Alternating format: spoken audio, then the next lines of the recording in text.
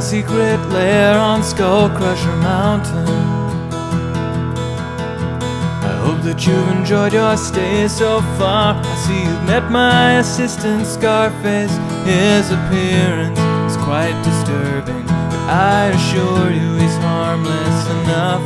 He's a sweetheart, calls me master, and he has a way of finding pretty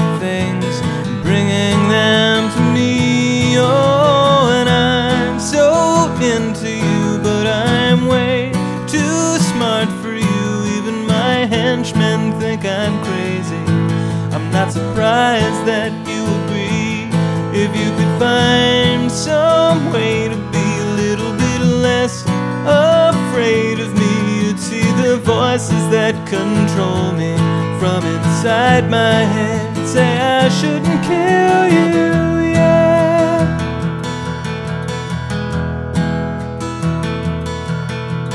made this half pony, half monkey monster to please you.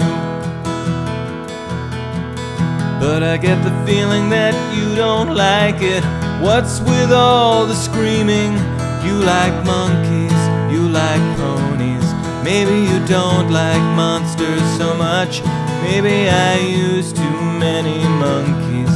Isn't it enough to know that I ruined a pony making a gift for you?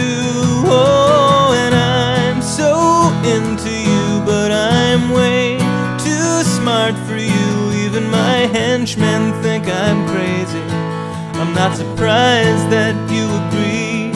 If you could find some way to be a little bit less afraid of me, you'd see the voices that control me from inside my head. Say I shouldn't kill you yet.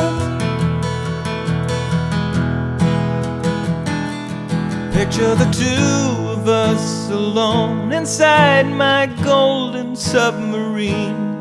Well, up above the waves, my doomsday squad ignites the atmosphere. And all the fools who live their foolish lives may find it quite explosive. Well, it won't mean half as much to me if I don't have you. You know it isn't easy living here on Skullcrusher Mountain.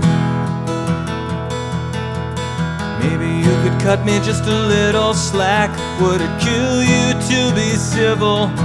I've been patient, I've been gracious, and this mountain is covered with wolves. Hear them howling, my hungry children. Maybe you should stay and have another drink. Think about me and you, oh, cause I'm so into you, but I'm way too smart for you. Even my henchmen think I'm crazy. I'm not surprised that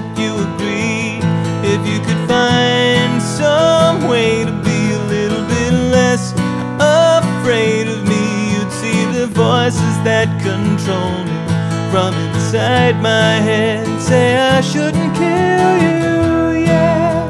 I shouldn't kill you, yeah. I shouldn't kill you.